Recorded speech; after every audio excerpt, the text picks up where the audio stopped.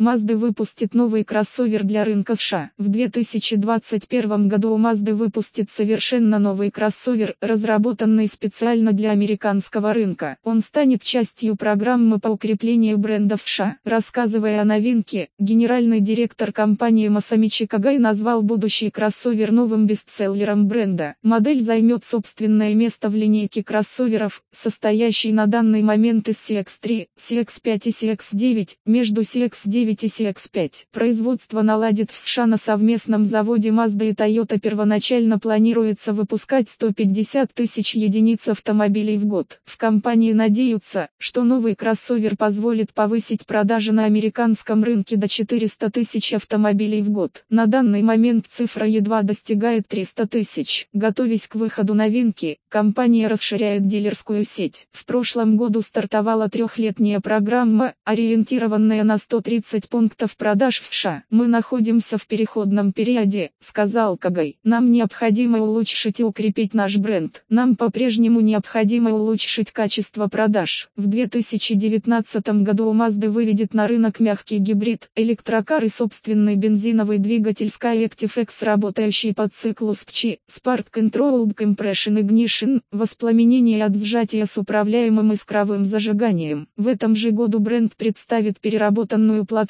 с улучшенными драйверскими характеристиками. Источник от Emotive News. По материалам сайта Newsgra.com.